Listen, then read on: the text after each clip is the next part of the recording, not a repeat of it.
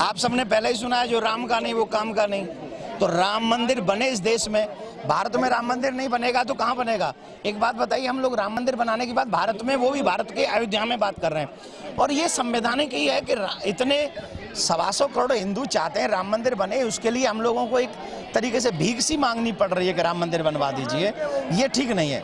मुझे लगता है हमारे मुसलमान भाइयों को बड़ा हृदय करना चाहिए और उनको आगे आना चाहिए और उनको कहना चाहिए राम मंदिर ही बनेगा और कुछ नहीं बनेगा। अरे हिंदू समाज में जाकर सुप्रीम कोर्ट में अर्जी दी थी कि रोज आए दिन सुनवाई कराई जाए जिसको सुप्रीम कोर्ट ने खारिज कर दिया। तो क्या लगता है कि इस मामले को टालने की का प्रयास किया जा रहा है? मैं सिर्फ़ इतना कहूँगा राम मंदिर बनना चाहिए। सुप्रीम कोर्ट का आदर हम सब करते हैं लेकिन सुप्रीम कोर्ट से भी एक प्रार्थना है। सवा सौ करोड़ लोगों की प्रार्थना है आपसे उसको भी ध्यान में रखें उनकी फीलिंग्स का भी आदर करें। धन्यवाद।